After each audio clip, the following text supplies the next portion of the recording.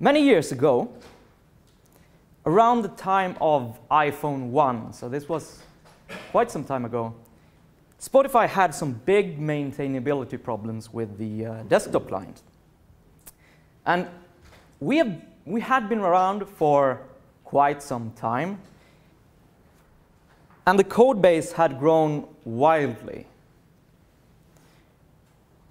It was at that point, you know, when, where software eventually gets, where everybody is afraid to change something, because if you do, you end up breaking something else. To make matters even more complicated, we had a code base that was all C++, which is known for many good things, but perhaps not maintainability or the ease of finding programmers for it. And also, we, uh, all the rendering was custom made. There was no Qt or WinForms or anything like that. Uh, so you had to so you had to learn all these things from the beginning. And as a result, development was moving really slowly. And that is a lethal disease for a company in Spotify's situation. So today, I'm going to tell a tale about these dark ages of Spotify.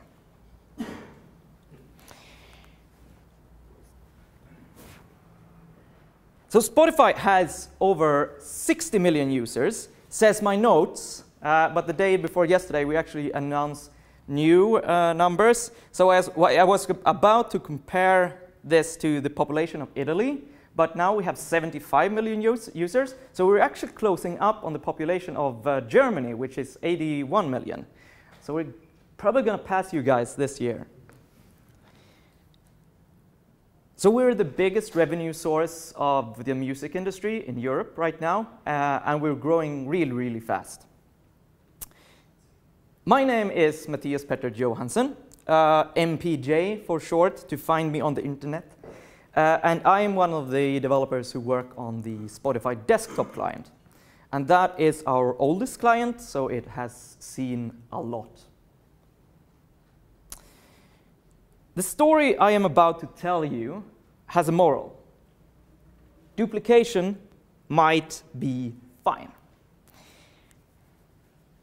When you're new to programming, one of the first things that you learn is to remove duplication. You learn to see that two different uh, parts of the code are the same. They're really the same, and you break this out into a single general method, and you use that instead. And removing duplication, that is so fundamental to our craft, right? That it becomes, over time, it, it ceases to be just a tool. It becomes part of how we think. It becomes a principle, almost like a belief. Code duplication is bad. And that is what I used to believe. Uh, but this story is about how I and many other people at Spotify learned that removing duplication has some hidden costs, sometimes very big costs.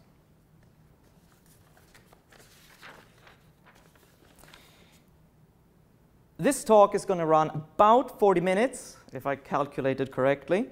I will begin telling you about how the desktop client is architected, uh, and also about how Spotify teams work, and a little bit about Hack Weeks.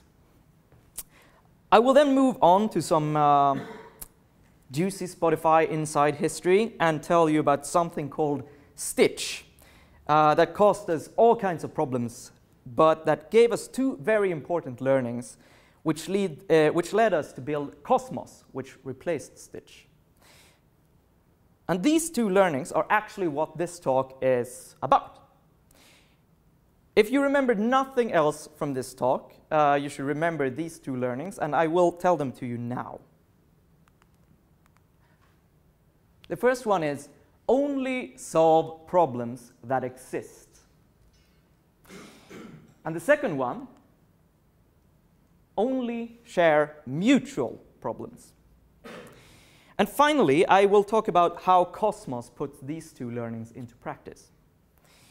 Uh, I've left quite a bit of space uh, for questions at the end, hopefully. So when something is unclear, just make a mental note of that and fire away at me afterwards. And one final thing before I get into it. This talk is about the abstract problem of code duplication. Uh, it, and it's weaved into this story about these juicy problems at Spotify. There will be no demos and there will be no code. Uh, and it will be like five slides or something. So in order to enjoy this talk, you need to set your brains to verbal, abstract, and uh, philosophical mode. So uh, here we go. The Spotify desktop client uh, runs an instance of Chrome, inside, which, which in turn runs a collection of small views called spotlets. And they make up the client. So playlist is one spotlet, the artist app is one spotlet, the uh, activity feed on the right is one spotlet, and uh, so on. They're all self-contained, and they don't do much talking to each other. So how did spotlets come to be?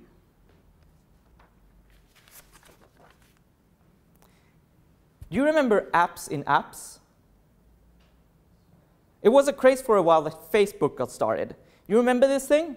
I realize now that you might not, because in Germany, like there was this other thing uh, uh, before Facebook. But either way, uh, around this time, Facebook apps, they were, uh, for the first few iterations, they were small modules that you put inside your profile. Uh, and this was before, uh, way before everything revolved around the feed. So uh, around this time, people communicated by going through the, to the walls and posting on that wall and then going back and posting on that wall, and that was how communication happened. So uh, wall apps were one of the most popular ones, and this was uh, especially, especially horrible all of my uh, friends had this. It, was generally a dreadful thing.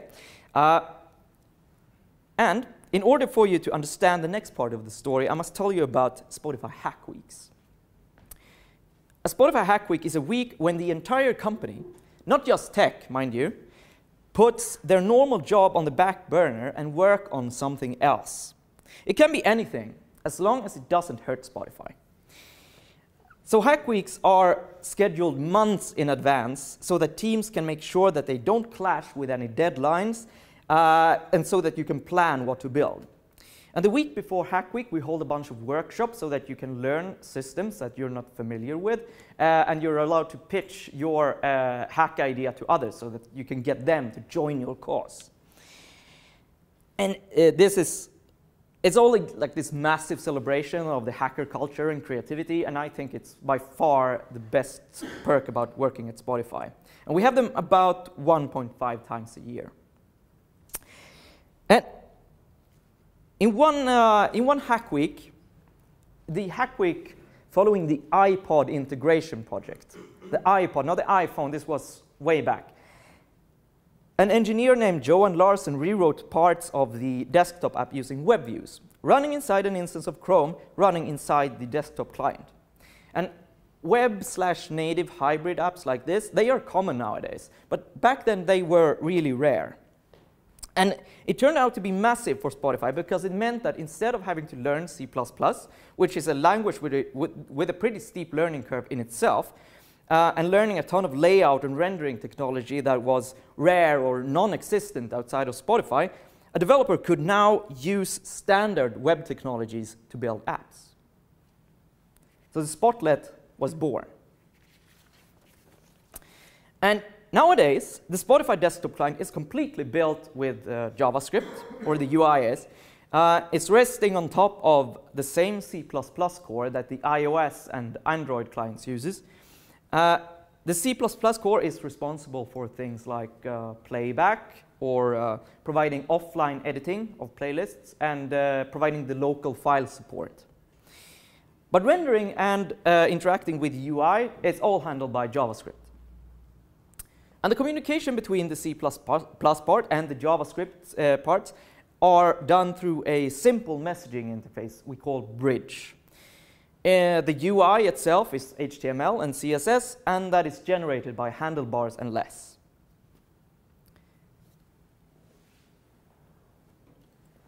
Oh. Spotify is one big product, but we're all made up of little islands, and that is both software-wise and organization-wise. Each, each spotlet lives in its own little sandbox, doesn't know about the outside world. The only communication that it does is through the, uh, to the C++ core via bridge or with its Cosmos service, which I will talk about in a bit. So it doesn't have access to the DOM outside itself. Each spotlet, since each spotlet is, uh, is so contained, we can deploy them independently. A spotlet is basically just a zip file of HTML and CSS and JavaScript and images. And the latest versions of these are bundled with the uh, big client binary when we release it. Uh, but we can also uh, deploy these separately, and we can deploy them right into the running clients of, uh, of users without them even restarting the client. And that is very useful for emergency releases, but we can also release spotlets to certain user groups, like uh, employees or, uh, or testers. And we can even release apps that aren't originally bundled with the client at all. And this is really handy during hack weeks because you can make an app and uh, demo it to people uh, and then you can get it into the hands of non-techie decision makers in the company by saying that, hey, you should just, just enter this URI in, your, uh, in the search, search field of your normal Spotify client and boom, there you go. You can try this hack out with your own account. And this island thinking that we have it's also reflected in how Spotify teams are organized. So Spotify is internally divided into small teams that we call squads. And they are, can range from 3 to 12 people or so, but never diverge from more or less than that. A feature is generally owned by a single squad. And during normal conditions, the squad has all it needs to develop uh, their feature and, and maintain it. So you have uh, we have iOS developers, Android developers, backend developers, and all that kind of stuff inside the, the squad. The general idea is that every squad should have the ability to do the work on their feature without needing to uh, needing to uh, go to another squad for, for or, and ask for permission or for help. That should be minimized. So um,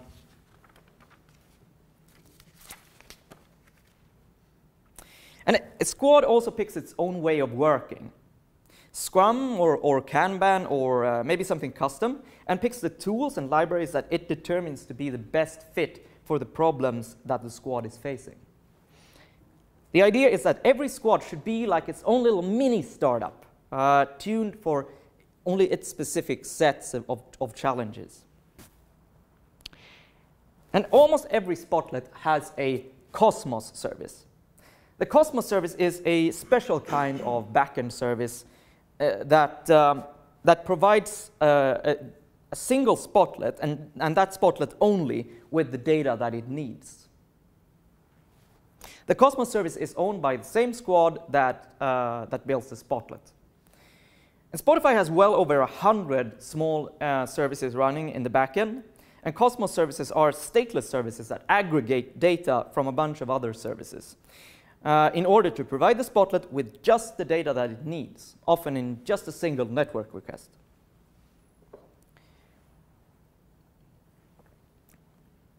So through the Cosmos service, squads work directly with this big cloud of backend services that we have. And you might have thought about this now, and a lot of people become like perplexed by it when they're coming to Spotify. Uh, they find it weird that there isn't a shared central API for stuff. If you have a lot of squads doing work all over the place, it seems to make sense to gather shared functionality in one place.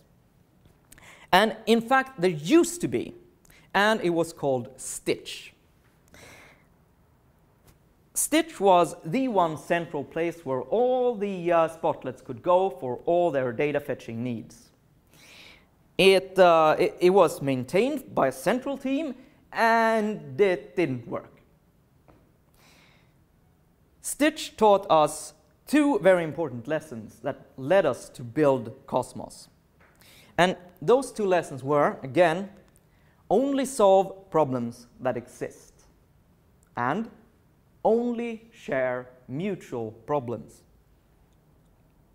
Let's spend a bit of time on the first one only solve problems that exist. As Spotify was built, we noticed pattern in how we were building things. Almost all apps needed to play things. They had playable lists, they dealt with playlists, artists, albums, and tracks, and so on. So we figured that it was a bad idea that developers solve these problems over and over. So along with the Spotlet architecture, Stitch was built. A framework for building Spotlets specialized at solving exactly the kind of challenges that we knew from experience that Spotlets would have. So Stitch abstracted away things like the player so that code could play a song. The code to play a song was exactly the same on both the, uh, the, de uh, the, desktop client and the web client, even though the underlying implementation was, was the same, wasn't the same. Stitch also offered access to manipulating playlists and accessing uh, artist data and, and so on. It gave you the whole shebang. And the idea was that we wanted to give developers in the organization this set of Lego pieces that they could use, use to build apps really, really fast. But instead, Stitch made us really, really slow. And I'm sure a lot of you is going to recognize the kind of framework that I'm going to describe now. In the beginning, it works great. You throw up the first version really fast and it works really well. And you're thinking, wow, this is going to make me so much more productive. I just have to fix these edge cases and these tweaks, and we're good to go. I'm almost done. And when you do, everything, your development starts slowing down to a crawl. The framework has made these assumptions that your app just doesn't fit cleanly into. And working around those assumptions is eating up a lot of your time. So Stitch, which was meant to save us time, was actually eating it. And now we're getting to like the core of this talk. Why did Stitch end up this way? As programmers, when we see several instances of a problem, we see a pattern. And what is interesting about this, uh, this pattern recognition is that it is a part of our instincts as humans. It's not a learned skill. You can show a baby photos of a cat uh, another cat, a long-haired cat, a short-haired cat, cat, cat, cat, cat, cat, cat, cat, cat, dog. And the baby will notice that there is a pattern difference. And humans make use of this pattern recognition all the time. For instance, you did it today. You saw that these chairs follows the uh, chair pattern and they are sittable. Uh, even though you have not seen this particular chair before, uh, you can use pattern recognition to figure out that this, this, is, this is the chair pattern, and you can thereby predict its properties. And humans are very, very, very good at pattern matching, but it has its limitations. And we are incredibly overconfident on, at how good we are at it. So the problem arises when we try to pattern match much more complex things than chairs like uh, humans or, or, or code. It's then we get prejudice, racism, sexism, astrology, and Stitch. When you're designing an API for anything, you need to understand the use case very well, right? You need to create, in order for you to create a uh, cohesive and, and useful API. So for instance, let's say that you're designing a date handling API. You uh, research the edge cases and you uh, take in all this kind of information and use cases and you try to pattern match and predict all the methods that your API is going to need. If you are an experienced developer, you're probably going to be able to do this prediction and, and, and it's going to work out fine. However, if you expand the scope of your API to something wider, like way past date handling in scope and go to something what Stitch did to Spotify, you're going to fail at predicting what a good and cohesive API for that looks like. And the reason that you can predict how a good date library API will look is that there's not a lot of innovation going on in the world of dates. But when you try to build a Spotify API, the only data that you can look at is what Spotify does today. But Spotify is an innovation company, like most companies, and per definition will try to do things that have not been done before. The fact that the last 10 features had similar needs cannot be used to predict the needs of the 11th, because if we're doing our job as innovators, that means that the 11th one will have completely different needs. So what we learned is that it is a good thing to find a shared problem in your apps and making a small library to solve that problem in one place. But it's a bad thing to create an entire framework to solve a more general problem than the one that you're actually having. And that is because your mind incorrectly believes that the problem is more general than it actually is. So only solve problems that exist. That's the first learning that we have from Stitch. So let's talk a bit about the other learning.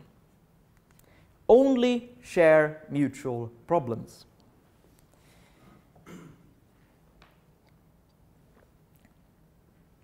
At Spotify, we had a culture that said if you wrote code for a problem, you should share it so that the entire organization could benefit, not just your team. And because of this sharing philosophy, it was natural that Stitch became the central framework of the organization. Almost everything went through Stitch. So whomever did something, whenever you did something, you did it through Stitch, which, also, eh, which automatically made it available to all developers in the organization. But again, that slowed us down let's say that you, um, you have a piece of code that you need to change.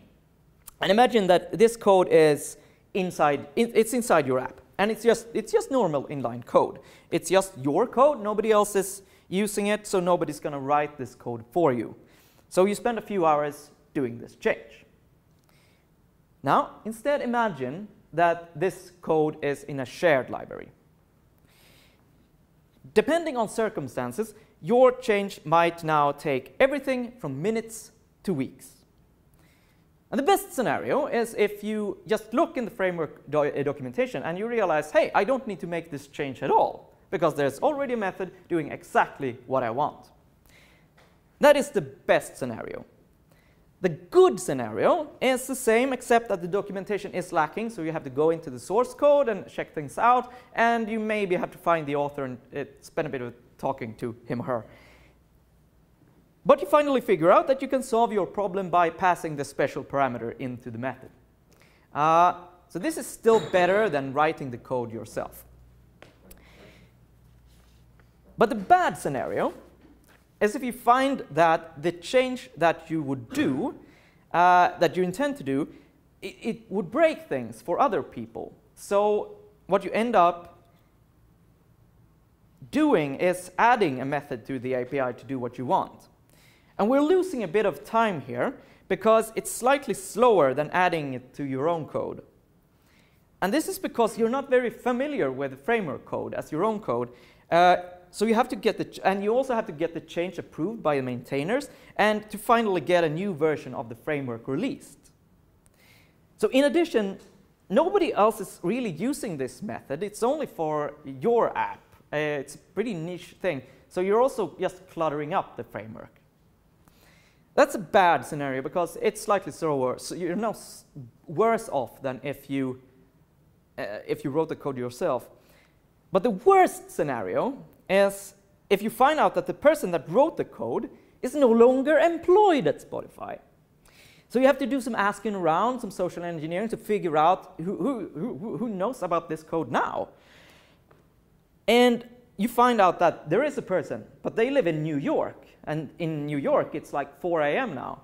So after getting a hold of the person, they finally explain to you that the change that you want to make requires changing the framework at the core level, and it will require a significant refactoring. So, you have probably been in this situation. You find yourself, you, you just wanted to add an arrow graphic. But three days later, you're in the middle of this huge refactoring to solve like a sorting problem for the entire development organization, even though you had no sorting in your app at all. So you're, you, you're in this situation where you're doing work for other developers instead of producing value for your users. Not quite yet. So what went wrong here? So in Sweden we have this saying uh, that shared joy is double joy and shared sorrow is half sorrow. And that is true, but only if it's mutual. Let's say that you meet a person at a party and all they talk about is uh, their uh, eczema, you know, skin rashes on their skin. And if you also have eczema, you are, uh, you're probably gonna be able to spend a, quite a bit of time talking to this person. Uh, maybe even uh, exchange treatment tips because you have this thing in common, this problem.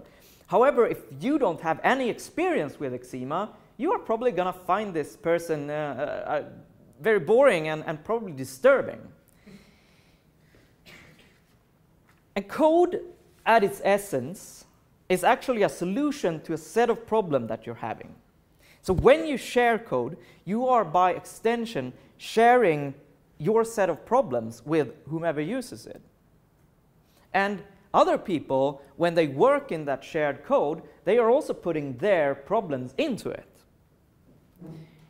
And if your sets of problems, if they overlap a lot, this is a good thing because you're joining forces against those problems. However, if there isn't a great overlap between these problems, you, you're actually not just not helping each other out. You're just dumping problems on each other. So what we learned is that it is a good idea to pool resources with people that have the same problem as you. But it is a bad idea to pool resources just for the sake of pooling resources. Uh, because you're not just pooling your resources, you're also pooling your problems.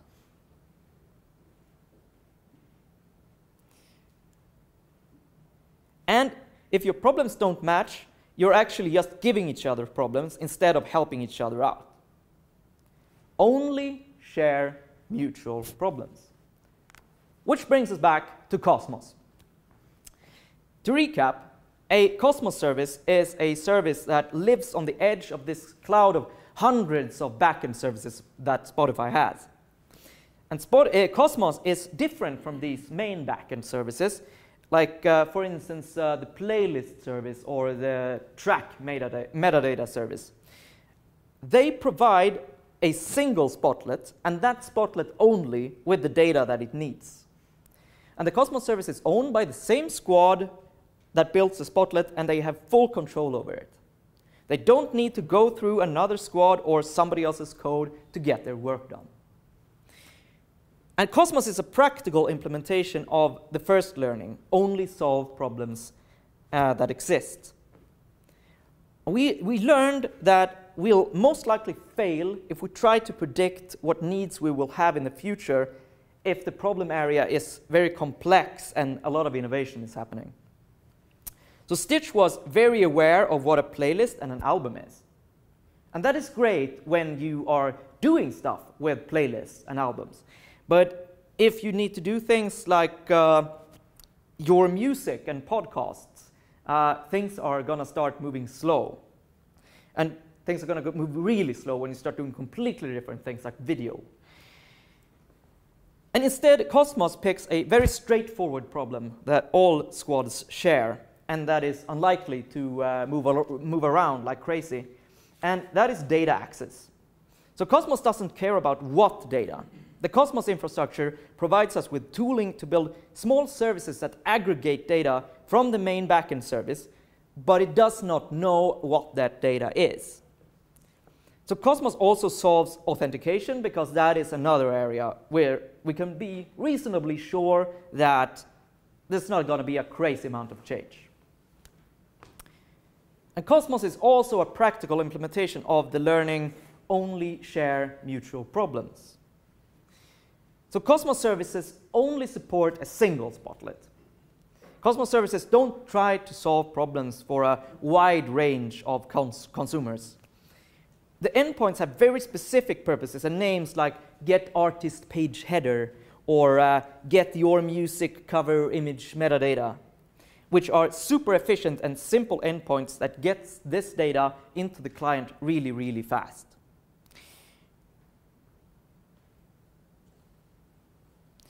Cosmos services send only the data that is needed by one spotlet, and they only depend on the backend services that they need uh, to assemble their data. So they have very few dependencies. So Cosmos gives the Spotlet its perfect API. Since the Cosmos service is adapted for only one Spotlet, you never, you never have to fight the Cosmos API like you did with, with Stitch, which, which you had to mangle into your will. So it's tailored for one Spotlet because it doesn't care about being anything to anyone else.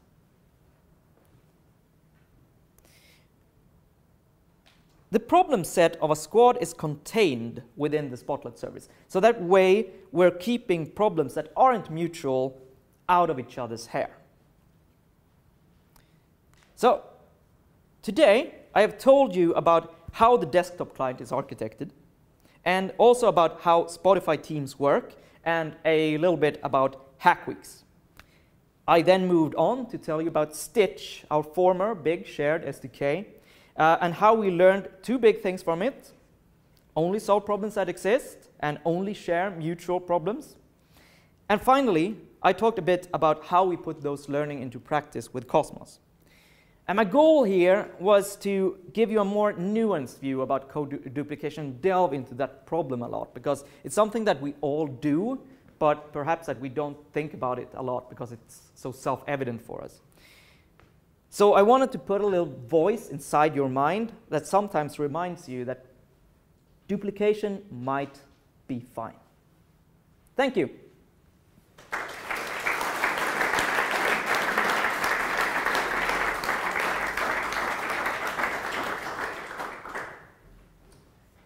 So just hit me with whatever questions you have about architecture or something like stuff like that. Well, I guess the big question is, how do you know that a problem has already been solved if it's isolated in another uh, squad's cosmos? So when does it be, when, how do you know it becomes a mutual problem? Oh, so how do you know when a, a problem goes from an individual problem to a mutual problem? Like in a small organization, I guess that you talk, but in, uh, in a big organization, Spotify is like 1,800 people or something like that now. So basically, you, you don't really. That is, that is why it's so, so tricky. You just have to you, you just have to know a lot of people and you have to talk to a lot of squads and figure out that, yeah, this squad does this, perhaps they have solved this, this issue. And you have to just, over time, just find these patterns. Uh, and I mean, I'm a big believer that you should, in order to generalize, you should create duplication a lot before removing it.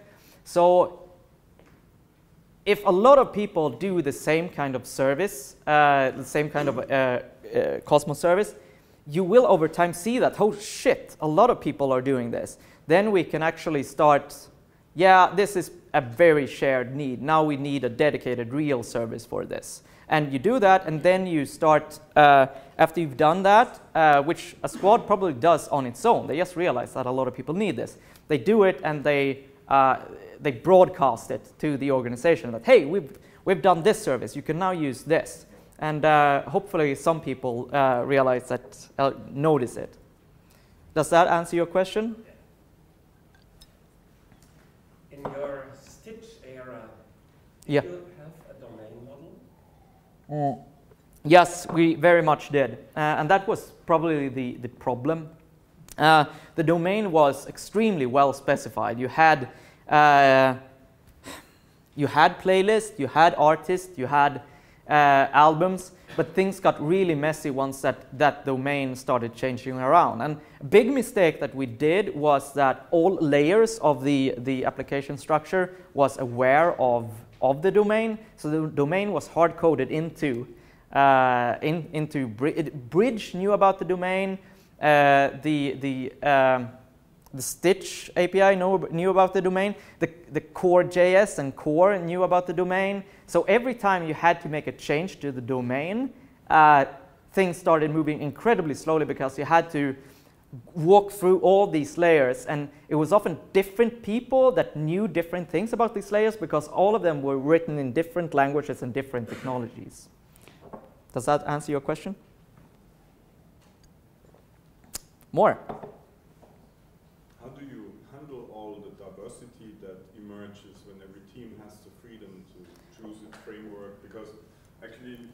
Germany, uh, when you do software, you want to bring it into your account so that it's value for the company and stuff. And then you bring in new people. Uh, how, do, how does Spotify handle that? Um, like in most cases, it's fine. Uh, like you just, people are very good at dealing with messes. However, there, there, there are uh, situations where you really don't want people to uh, stuff to change around. Uh, for instance, for quite a while, I don't know if you remember this, but at some time the Spotify client design was very weird. Like the, the fact that every squad was responsible for their own part, it really shone through in the design. We even had like uh, sections of the app that were white because that was uh, that was the new design that we were moving towards, and some squad had moved to it, and, and others didn't. And it was generally a very weird experience. So, in the area of design frameworks, you don't want things to move around a lot. You want them to have a, a kind of inertia. So, we have this, we actually have a shared design framework called Glue.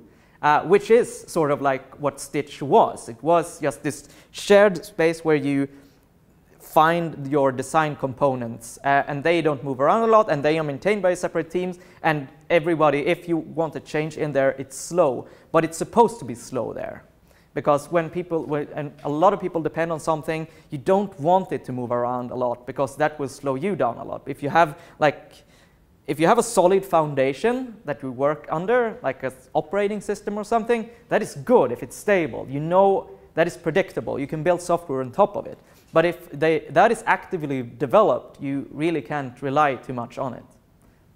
Does that answer your question? In part. Yeah. but how do you really deal? So, you lots of meetings, for instance. I don't know, when the, there's the discussion about JavaScript. Yeah. And then the guy shows something, uh, live coding in coffee, and then half of mm. the audience mourns. And say, oh, coffee. oh, yeah. And every time you introduce a new obscure or esoteric language or something, or you could yeah. at Spotify, I imagine I could, you know, write some uh, spotlet in white space. Yeah. So how do you deal with that? Uh, I think the Spotify uh, Spotify deals with it partially because we actually have a very tech skeptical culture. Um, the, the, people see us as a new company, but as you've heard during this talk, we're actually been around for quite some time. And there was a time in the back end when um, uh, people were allowed to write stuff with anything. And right now, you're allowed to choose between Python and Java, and you should choose Java. it's, it's that kind of, so I think it's a cultural thing. You just have to uh, have a culture with restraint. That said, I still think that we might right now be erring on the side of wild, uh, especially when it comes to JavaScript. Uh, right now, every, uh, every spotlet is essentially an iframe, which gives you like this tremendous freedom of doing whatever kind of crazy shit you want. Uh, so you can, there are uh, squads doing CoffeeScript stuff, kind of frowned upon, but you're allowed to do it. And, uh, and I think that we're going a bit overboard with it. And the trend is to like scale it back a little and try to find shared frameworks and, and some kind of balance there. But I don't. I think it's ba basically you have to have a culture of restraint. At least that's how we solve it. Okay. More. So So we have independent teams. Do they all have like independent build systems? Uh, If I move from to uh, squad A to squad B, does that mean potentially that they're using completely different build setup and testing tools and whatnot? Uh, no, uh, because that is the kind of infrastructure that you want to provide. I mean, all squads need a build system. Uh, and you have, um, like, the, the backend squads are more firm than the front-end squads. Uh, backend squads basically all use, they, they all use the same thing. They, use they use the Puppet thing for deployment and they, they use, all use the same, same infrastructure. The, uh, um, the front-end teams all use Grunt.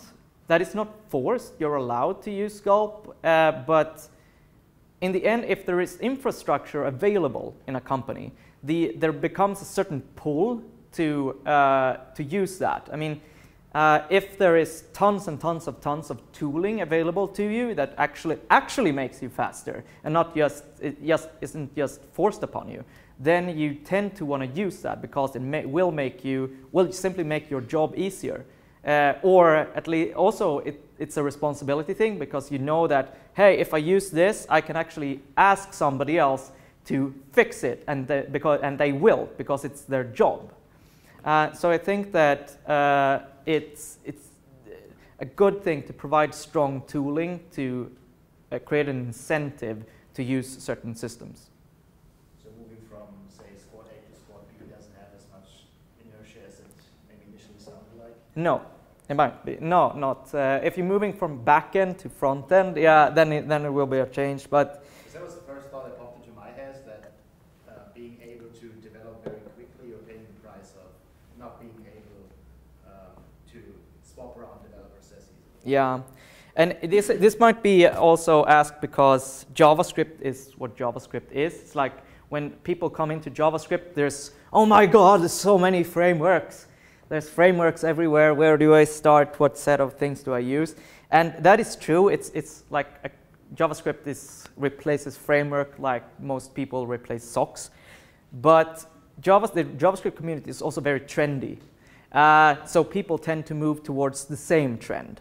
Uh, so uh, there's, there's some cohesion that is added there because people follow, all, all people read Hacker News and Hacker News dictates that this is the new framework and now people get familiar with that. Any more questions? Any more detailed technical questions? I haven't shown you a lot of code today. Do you want to know some more specifics? No code question, sorry. But I was wondering how you're doing uh, QA, because uh, it's not independent, and they're doing a good job, of course, you know, uh, might work well, but you still need to make sure it well. Yeah. You can just guess, and I'm be interested to know how you do it, maybe in squads and maybe overall. Yeah. Uh, QA is, we actually have QA in the squad. So we, we have, uh, uh, in my squad, we have two developers and one QA. Uh, we're a very small squad, and I know that the desktop container squad, I don't know how many QAs they have, but it's a lot. I think it's almost as many as the developers. Uh, and uh, they work very tightly with the employees, uh, with, the, with the developers. Um, uh, on on site. I mean, I have my QA like right behind me, uh, and everything basically goes through her. Uh, we uh, we have this system of P1 and P2 and P3 bugs. P1 bugs refer to bugs that were discovered in production and that you really need to fix right now. Uh, and P2 bugs are bugs that we classify as uh, things that block the release. So if the, the, the, QA says that, yeah, I think this is a P2 bug, and you can, you can sometimes argue that it's a P3, but if it's a P2 bug, that blocks the release. Uh, so it's very important in this kind of structure to let the QA be the gatekeeper of stuff. Um, I'm not sure if that answers your question. A little bit, but I was wondering maybe you could elaborate more on, because you just made the point of you having strong tooling for the. Yes. And I, I assume this goes to QA too, right? Yeah. You don't have, uh, you know, 50 different test frameworks and so on. Oh. All right. Uh, we at Spotify we separate uh, like the role of QA, and we have a special role called TA, which stands for Test Automator. Uh, QA tend to like come into the company as QA and then move, as, as, like start doing TA. Uh, so we use a multitude of testing depending on the squad. We use, we have actually started to do the, uh, the thing that Google launched a couple of years ago, uh, the test certified system, where you just get a level for your squad of how advanced you are at testing. Um, but um, almost all squads use this GraphWalker framework, which was invented by a guy at Spotify. So you create this, these graphs, these models of how a, um, an automated test should go through the application. Uh, and uh, it, it kind of randomizes the path and does all kinds of clicking and stress testing and go through, uh, they, it goes first to the playlist, clicks that, and then goes play, and then it goes back, but it might not do the same the next time it goes. And then it, it, it logs all those, um, uh, those things as screenshots, logs the console output and that kind of stuff. So it's basically an, it's sort of an automated QA. Um, and in addition to that, we have a bunch of test frameworks. We're using uh, Phantom.js to do uh, this kind of intermediate step because the TA tests are great, but they are also very slow because you have to spin up an entire, uh, entire um, uh, environment with like real services and stuff. Uh, so you can like you can have a hundred of them tops, even though we have this big cluster running them. Uh, so you need this middle ground test that mock out the backend uh, and uh, and just test the UI, but with a real browser. So it clicks around, and th we do that with Phantom.js. And then we just, uh, besides that, we add a bunch of unit tests, which just tests the, the, the JavaScript controller. And then core, of course, uh, has its own suite of, of unit tests. I think that other squads might be doing some kind of integration testing between things, but I think that those are the ones that most squads do.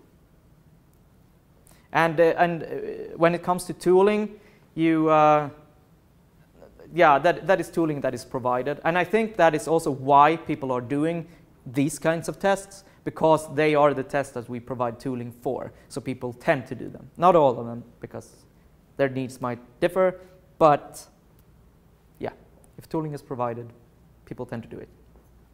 So what would you estimate is your overall coverage with testing? Uh, uh, I don't know. Are you a believer in test coverage? No. Um. Yeah, we just we just added test coverage to an app, and I got a Slack notification now that oh this looks weirdly high, but it, it's just because the way the app is built, all the it, like every single test will execute pretty much all of the code because it just fires off these watchers and stuff. Uh, no, I'm not sure what the overall test coverage is. I know that some squads have insane test coverage, uh, they aim for 100, and some squads, yeah, yeah, we have 80, and it's fantastic. Uh, I don't think that we aim too much of it. We, we, I, I think that Spotify has uh, the opinion that it is important to measure test coverage because that just does something with your attitude. That just watching this number go up and down uh, makes you start thinking about test coverage. Oh, is this, is this test covered or not? Uh, that just puts you in a good frame of mind. But the figure itself, it might not mean that, that much. It might not be able to it's, it's high for some squads. And I have one additional question. yeah, sure. Go. You talked about a lot of uh, very distinct and small, so it's basically some sort of microservice architecture with hundreds of services yes. So how is that uh, orchestrated so that the right service in the right version yeah. is running and how is all that untangled yeah. so you can test it on your desktop and so that it runs in production? Yes. Uh, it is uh, a puppet, basically. Uh, it's uh, Puppet is used a lot at Spotify. Um, we, uh, but um, we're moving. I mean, we're moving to a Docker architecture. Uh, it's still not getting a lot, lot of traction in the organization because the backend people are again super skeptical people. Uh, but uh, the, the, uh, the infrastructure teams are, are pushing Docker. Uh, when it comes to like getting it to run on your own machine, most I think that I don't see much backend developers working on their machines. Uh, they, uh, they, they tend to, we have this thing called Spotty Cloud, which is basically a framework on top of Amazon Web Services, which allows the uh, developers to buy instances really quickly. So you just hit SP Cloud create, and boom, you have a, you have a, you have a server uh, that you can install stuff on, and that you can just add Puppet classes on. So I don't know if you all know Puppet, but it's basically just this file that can inherit other files that defines what, a, what should be installed on a server. So you just tell, you just go Spotty Cloud create, okay, and I want the, the web player class, for instance, and then you go get a coffee, and then uh, things will install on your, uh, your machine, and will, you will have this complete thing. Um, so that is, uh, that is what we use. Does that answer your question? Yeah. I think we have time for two more. Come on, I know you have some.